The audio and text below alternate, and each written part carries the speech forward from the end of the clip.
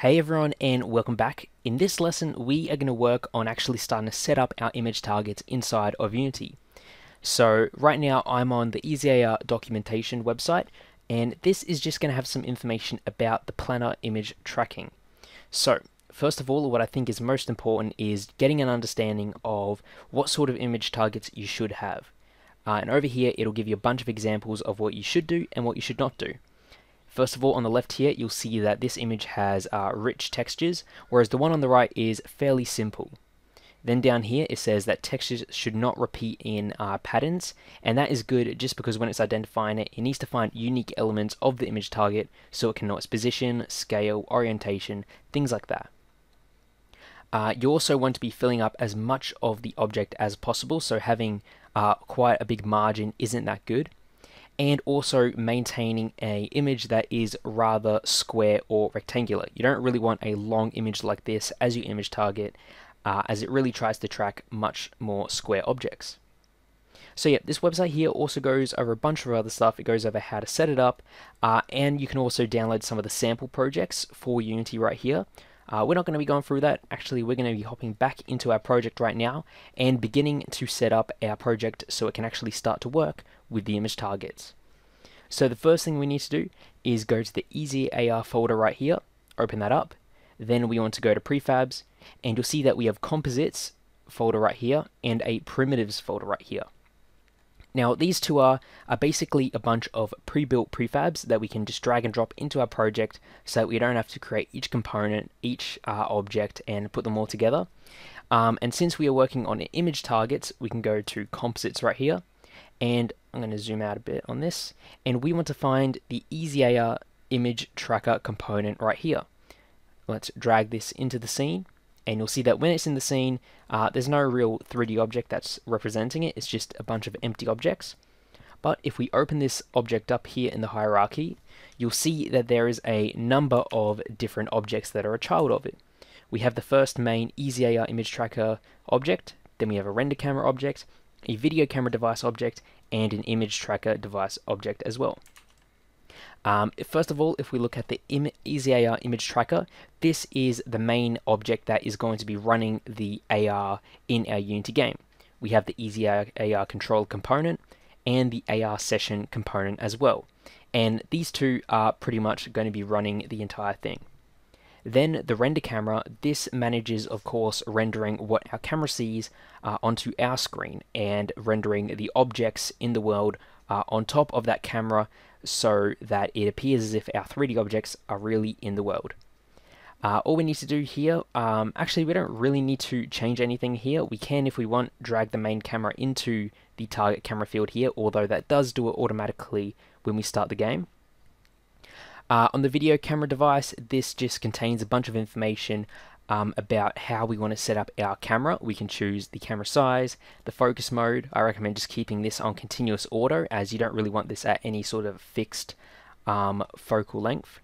Then we have some other stuff such as the camera type, so you can choose this to be the front camera or the back camera, and some other preferences right here. Since we are doing object tracking, we can just keep it on this right here. Now over on the image tracker component, this is what manages uh, many of the image targets. Right now we have the tracker mode on prefer quality over prefer performance, so we can just keep it on that for now, and simultaneous image uh, target number. So this is the amount of image targets that can be rendered on screen at once, that can be tracked on screen at once. Right now by default it is on one, but we have four image targets that we want to be tracking at one time, so let's actually change this number over to four. Save that, and yep, that's pretty much this sort of setup prefab right here, which is in our project and ready to go. Now what we can do is start to create an image target. So I'm going to go back to the EasyAR folder here, inside prefabs. Now I'm going to go to primitives, and what I want to find is the image target prefab right here. I'm going to drag and drop that into the scene, and if I press F to focus on it, We'll zoom out a bit, but let's just zoom into that right now. And you'll see that there is an image on screen with a question mark. And this is because on the right hand side in the inspector, uh, you'll see that there is an image target controller component and this manages the image target. It manages what image target we're looking for and some other stuff on how it is rendered. Uh, most important thing we want to look at though is the image file source. So let's click on that and you'll see that it'll open up with a bunch of information. Uh, first of all, the path type, this is going to choose where it's looking for the image target. Since we did put our image targets in the uh, streaming assets folder, then we do want to make sure that the path type is on streaming assets. And then there are three more things. We have path, the name, and the scale.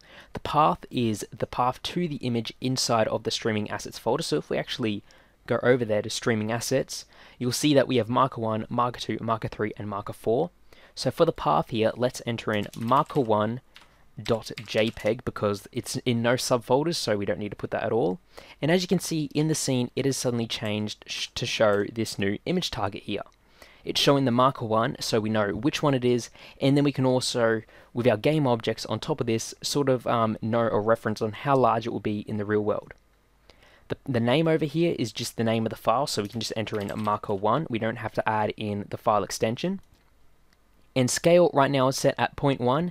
Uh, to make this a bit easier to work with inside of Unity, let's actually increase this size to 1, like so. Uh, the reason it is on 0.1 is because if you are wanting to work with physics, it's good to maintain that one Unity unit to one real world meter sort of reference. And since these image targets are quite small, having the scale at around 0.1 uh, sort of scales it to the right size. But we, we aren't using any sort of physics or anything like that, so scaling it up to 1 will allow us to just work a lot easier inside of Unity. Okay, so we've got our image target right here. How do we render something on top of it? Well, that's fairly straightforward. All we need to do is add whatever sort of object we want to render as a child of this image target. So let's right click on image target here. I'm going to go 3D object cube uh, we can set the scale to maybe 0.5 by 0.5 by 0.5 and you'll see that we can then drag it up here. And pretty much whatever is on this side of the image right here is what is going to be rendered uh, on top of the image target. So make sure this cube is a child of the image target. So if we disable it the cube will disappear now, one thing we need to do before we actually build this to our device and test it out is change the camera. If we look in the game view right now, you'll see that we have the default Unity camera, but what we need to do is change a few things on our main camera here. First of all, let's change clear flags from skybox to solid color, and we can just make the color here black for now. Uh, and after this, we need to change the rendering path to be forward rendering, as that is what's required by EasyAR. And apart from that, everything should be set up and ready to go. So we can plug in our device and build it uh, to it so we can test it out and see how it works. So here we go. If we move our phone around the image target, you'll see that the uh, object appears, but it does appear below the uh, image target, which is something we're going to be addressing right now. Now, one thing that did look a bit weird was the fact that this cube looked like it was underneath the image target. And to fix that, we just have to move this cube over into the negative z-axis. That is because uh, the positive z-axis of this image target here is facing towards the ground, and the negative is what points upwards. So everything that you want to appear should be um, over on this side of the image target.